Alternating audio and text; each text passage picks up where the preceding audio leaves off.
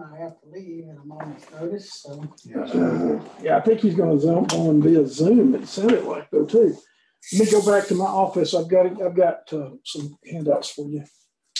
And uh, nobody is recording, but nobody is on, I don't think right now, so.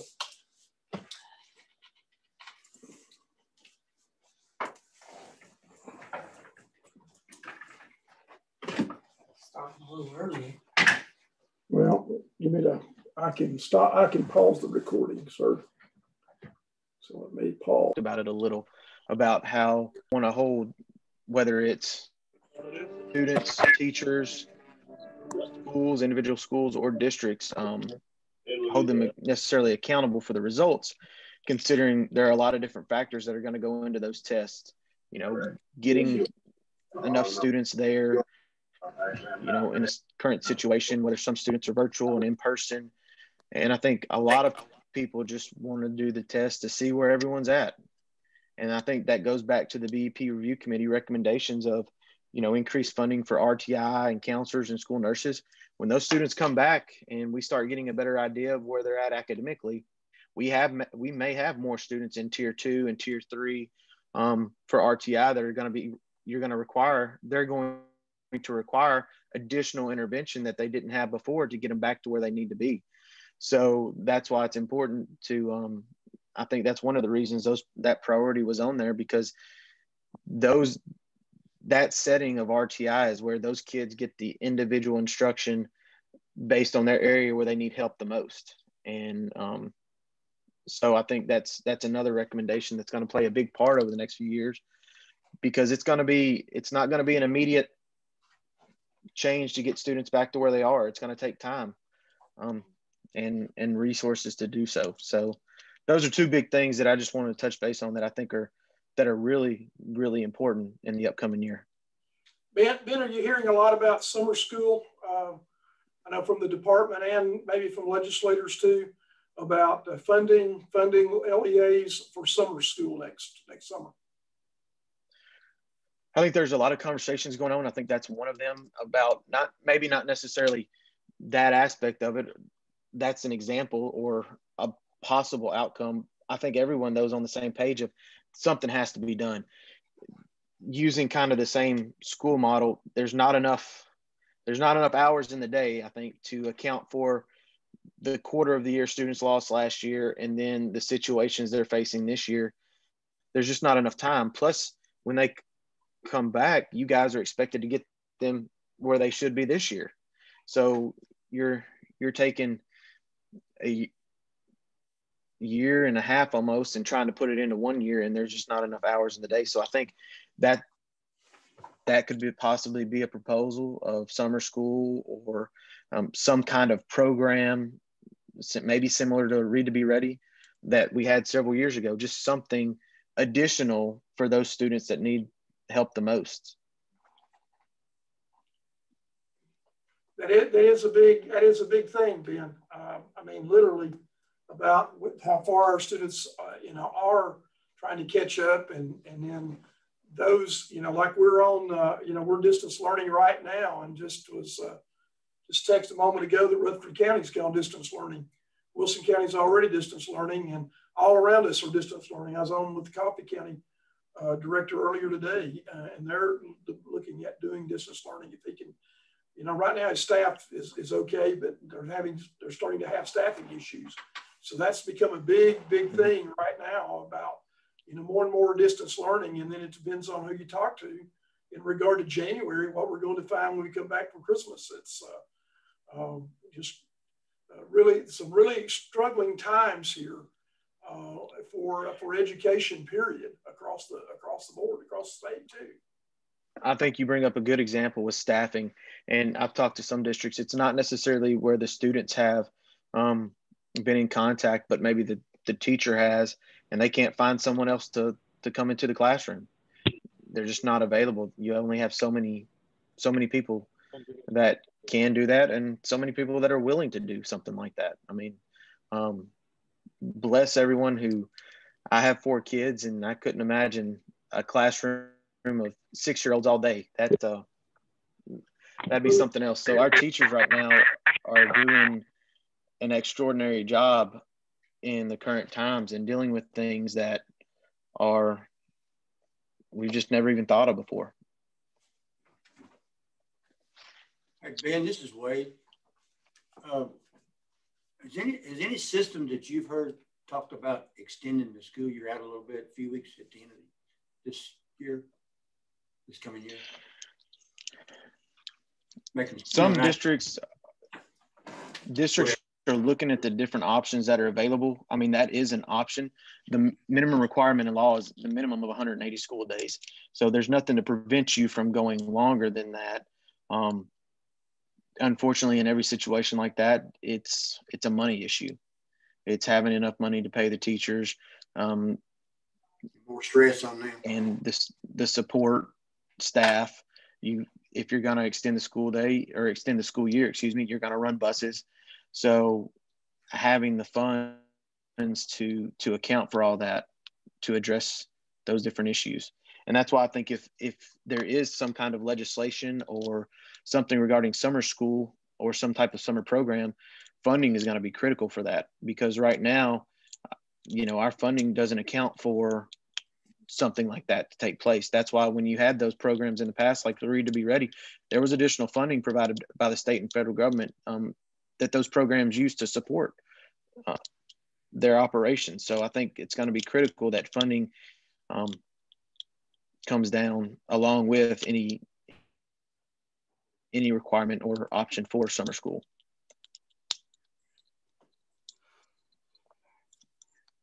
So that, that may play into the same thing. It's not necessarily extending it, but the, the, the trouble that I, I see with that too is getting our, you know, our, our faculty are, are, you know, teachers are very, very tired at this point. I mean, they have been doing things we'd never thought before, you know, and, and they're really, really, there's fatigue going on within our, within not only our district, but across the state again. And uh, getting people that would won't like to do summer school would be, would be a challenge, I think, uh, I think too, down that pipe. Yeah, that that may certainly be a challenge having people willing to to take on that extra responsibility. Um, certainly. Okay. All right, Ben. Anything else you would like to uh, follow following Miss Lillian's uh, presentation there? Uh, go ahead, Ben, with anything else you have, particularly on BEP issues and and things of that nature coming down from uh, TSBA. We just sent our policy reviews. I think we had about 10 or 15 policies that we just reviewed that we sent to Jennifer. So those uh, those have been updated according to an email I got earlier from her. So I appreciate the quick turnaround. Yeah, no problem. We are in uh, our time period for our annual audit. One of the things we do is we go through every school board's policy manual and look at the policies that are required by law to make sure you have updated policies. There's about 80 of those policies that you have to have. And we want to make sure that those policies are compliant. You know, things change on a regular basis, whether it's state law, whether the state board changes policies or rules, or the federal government changes um, regulations. So it's just important, we think, to have that annual review to let you guys know, hey, here's some recommended things you can do. Um, as far as the BEP goes, we are, you know, session starts the second Tuesday in January, so it's right around the corner. You know, after Christmas, it's it's coming it's coming up. So I think a lot of conversations will be happening about funding and and how that can occur. I know the state is continually looking at the budget numbers and revenue numbers to see what options are there. And I think the key is to continuously engage your legislators. I know they want to hear from you and you are dealing with the the day-to-day issues. So providing them with input to let them know what you need is is key. And uh, we'll be talking with, uh, of course, I do usually a weekly thing with Mr. Pody, Mr. Pody and Representative Boyd. So they are very, very good about communication with us here in our, our, our district. But one of the you know, things too, we're uh, doing Upper Cumberland. Uh, we have a meet with them at 9.30 on Thursday where we're going to be, uh, all, all of the Upper Cumberland directors will be getting together with multiple ones across the Upper Cumberland. So that's pretty good. And uh, like I say, Representative Boyd uh, and uh, uh, State Senator Pody are very, very good about listening and taking our, our, our things to to the legislature, taking whatever we we desire. You know, I was in communication with them nearly on a, on a really a daily basis during some of those days in the General Assembly because they wanted they wanted our, our opinion, and I think that uh, we've got a great relationship there, and we want to continue that.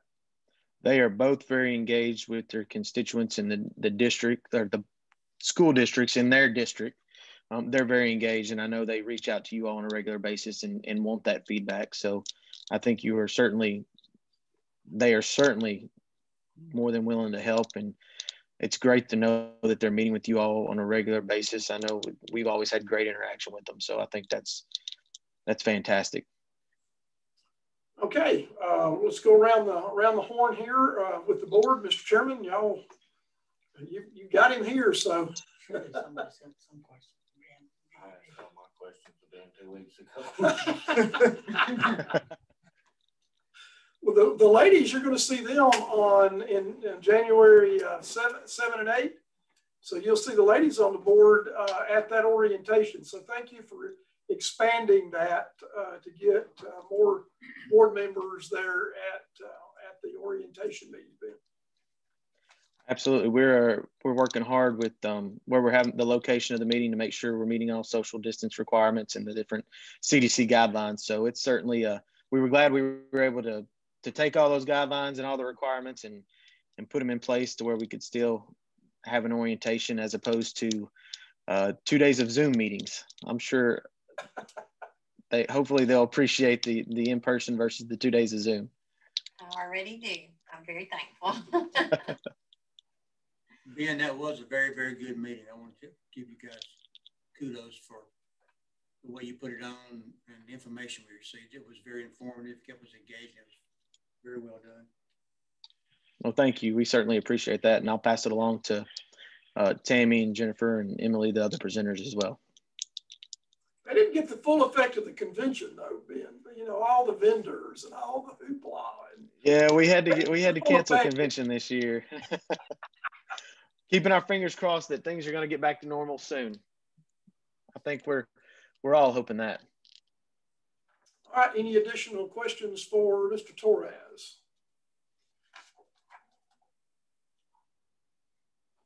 Okay, and that will conclude our broadcast. And we appreciate everybody joining us tonight. And uh, thank you, uh, thank you, Ben. I sent Ben a couple.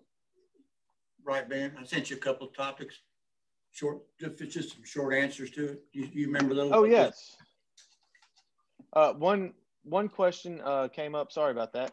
One question came up about transportation and how transportation works in the BEP. So, if you look in the BEP, um, handbook for computation. It's actually on page 54, I believe. But the way it looks, it looks at a three-year average of transportation costs. So it looks at the miles um, transported, the number of students, and it's a ratio of that year to to the three-year average. So when you look at transportation funding, it's not necessarily in a vacuum of that specific year. It's over a time period and they use a multiple regression formula to kind of project out what you would need for that year. So when you, you look at your BEP sheets that you get from the department, they'll have a overall number in there total. And I think I looked at the uh, numbers for Cannon County.